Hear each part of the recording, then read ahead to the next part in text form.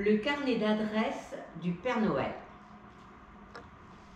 Le Père Noël se brosse les dents. Il peigne sa barbe, il enfile son manteau rouge, ses bottes, son bonnet. Il monte sur son traîneau. Il crie à ses reines Allez, au boulot Et le traîneau s'envole dans le ciel. C'est la nuit de Noël et le Père Noël va distribuer ses cadeaux. Il se dit, bon, par qui vais-je commencer? Il plonge la main dans une poche de son manteau, puis il fouille dans une autre poche et il s'écrie, Sapristi, j'ai oublié mon carnet d'adresse. Dans son carnet, le Père Noël a écrit les adresses de tous les enfants de la Terre et les jouets qu'ils veulent recevoir. Vite Il fait faire demi-tour à ses reines et il retourne chez lui. Le Père Noël fouille partout, sur son armoire, sous son lit. Il vide ses placards, il secoue ses chaussures, mais il ne trouve rien. Son carnet d'adresses a disparu. Le Père Noël regarde son traîneau chargé de cadeaux. Et il dit tristement, mais qu'est-ce que je vais faire de tout ça? Une grosse larme coule le long de sa barbe. Il soupire. Ce Noël va être raté, complètement raté. Les reines du Père Noël commencent à s'impatienter. Ils secouent leur clochette le Père Noël caresse le grand reine qui conduit l'attelage et il murmure.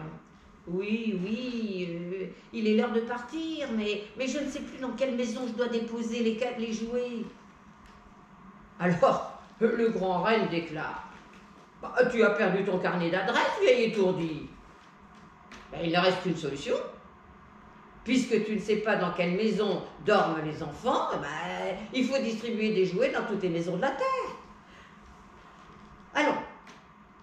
Les autres traîneaux derrière nous et va chercher tous les jouets qui restent dans ton grenier. Déjà, une horloge sonne les douze coups de minuit. Ah, le Père Noël se met au travail. Il court, il porte, il grogne. Il remplit encore cinq traîneaux de jouets pour être sûr d'en avoir assez. Puis, il fait claquer son fouet en l'air et l'attelage file sous les étoiles.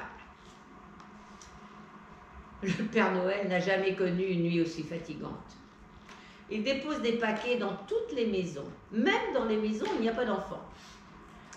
Le lendemain matin, les grands-mères trouvent des ours en peluche dans leurs chaussons.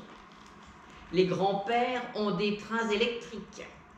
Les bébés ont des vélos de crosse. Les papas des poupées et les mamans des hochets. Alors les gens sortent de la maison et certains disent Regardez, j'ai reçu ça et je n'ai rien demandé. Et d'autres ronchonnent. Bon, moi, euh, moi j'ai un jouet de bébé, euh, c'est pas ce que je voulais. Heureusement, les papas donnent leurs jouets aux enfants, les bébés aux mamans, les mamans aux garçons, les garçons aux grands-mères, les grands-mères aux filles et les filles aux grands-pères. À la fin, d'échange en échange, Chacun a un cadeau qui lui plaît. Dans les nuages, le Père Noël observe ce qui se passe sur la terre et il dit en riant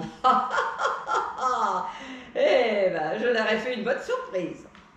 Puis il rentre chez lui, il enfile son pyjama, il se glisse dans son lit et sous son oreiller, il retrouve son carnet d'adresse.